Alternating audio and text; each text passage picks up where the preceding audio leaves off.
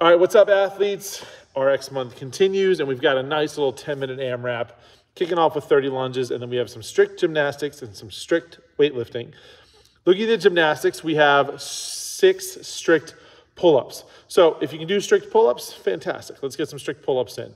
Um, if you are, uh, you could use bands, bands are always an option toes on the ground or toes on a box using the kids bars are an option.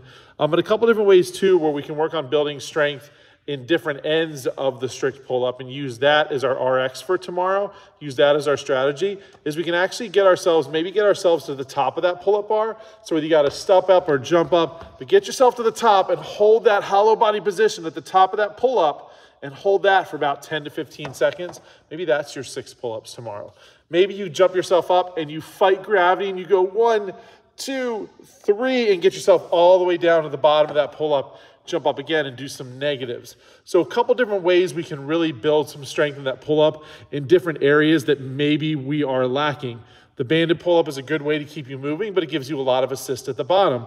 The toe assisted pull up sometimes can be hard to find like what's the right amount of assist that I give myself. So these are way where that hold or that lower down strengthens different components of the uh, of the pull up. And then we have whether it's kettlebells or dumbbells, a strict press up overhead, choosing a weight that allows you to go five in a row. So have fun with this one tomorrow. Challenge yourself in the strict gymnastics. Strict, gymnast, strict gymnastics make everything better.